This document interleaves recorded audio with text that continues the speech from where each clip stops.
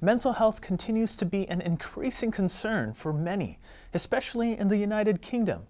Reports show that one in five people, especially in the workplace, experience loneliness due to the impact of COVID. And some are reaching out to help alleviate this concern through neighborhood events. Bettina Matera has more details.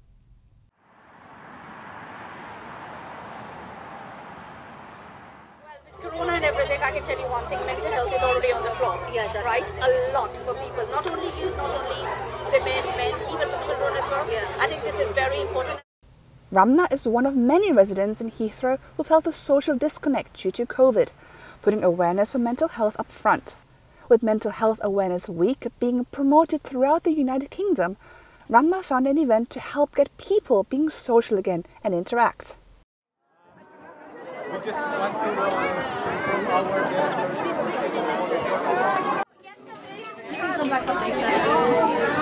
day to interact and welcome neighbors through a neighborhood appreciation day sponsored by the Church of Christ by the local congregation of Heathrow.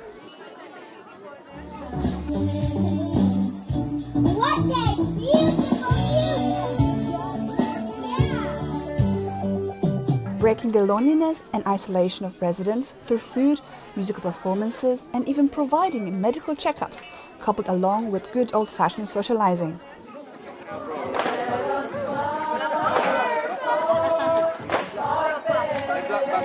brings people together.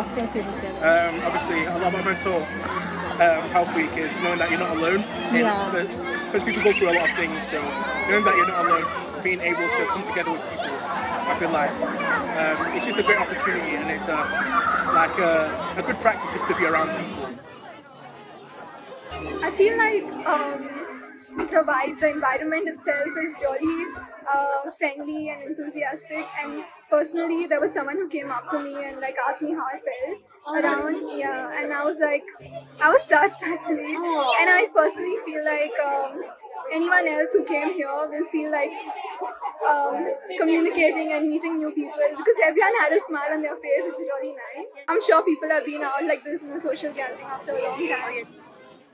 And several days before, at St. Peter's Hall in Heathrow North, appreciation was also extended to frontliners through the INC Giving Project, the voluntary arm of the Church of Christ, receiving care packages for their courageous efforts.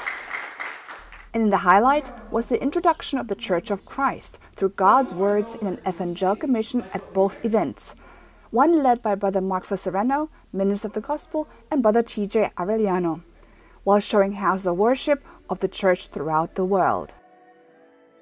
And of course, feeling the love of the brotherhood resonating with residents in Heathrow.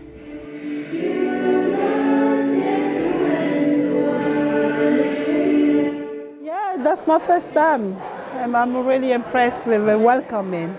But when he preaches, he, he, he calls upon us to have our faith in God. And then uh, I can resonate on that because that's what I, I, I know of. into God who's calling to you. He waits for you. Come walk the path that's true. And the preaching, it brought connection between me and God again. I came here, I was crying, but no one saw me, and I thank God for that. Yeah. Feeling alive again and knowing that in Heathrow, the Church of Christ appreciates all its residents and continue to support them in finding the right connection through their true faith. This is a perfect platform to show the right thing in right way by right people.